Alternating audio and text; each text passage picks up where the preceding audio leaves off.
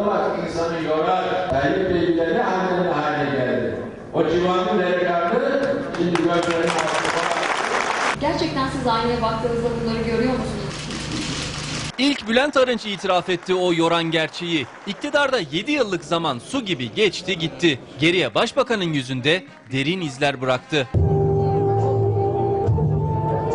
Oysa 59. hükümetin dümenine geçtiği 14 Mart 2003 tarihinde yani siyasetin dikenli yollarında yürümeden önce Erdoğan yıpranmamıştı. Göz torbaları yoktu. Saçlarına ak düşmemişti. Kulağın var duymuyorsun, gözün var görmüyorsun, dilin var doğruyu söyleyemiyorsun. Ne yapayım ben? Memleket meseleleri, sık seyahatler, muhalefetle söz düelloları. Başbakan yoruldu. Göz torbaları belirginleşti. Saçları beyazlaşıp seyrekleşti. İşte bu yüzden olsa gerek onu en yakın tanıyan isimlerden Bülent Arınç, siyasetin o acımasız yüzüne dikkat çekti.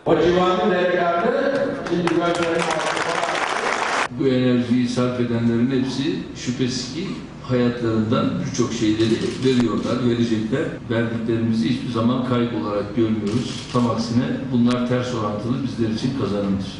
Siyaset sadece iktidarı değil, muhalefeti de yordu. Düzenli spor yapmasına rağmen Baykal kilo aldı. Saçları beyazladı. Ceketi orada bırakmadık değil mi?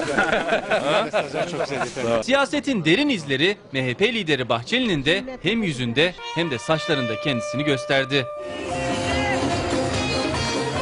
Siyaset Çankaya Köşkü'ne ise farklı yansıdı. Ortak kanı siyasetin kavgasından uzak kalmak, moda tabiriyle siyaset üstü olmak Cumhurbaşkanı Gül'e yaradı. Saçları beyazlaşsa da 864 rakımlı tepe Gül'e genç olmasa da dinç bir görünüm kazandırdı. Nasıl güzel olmuş.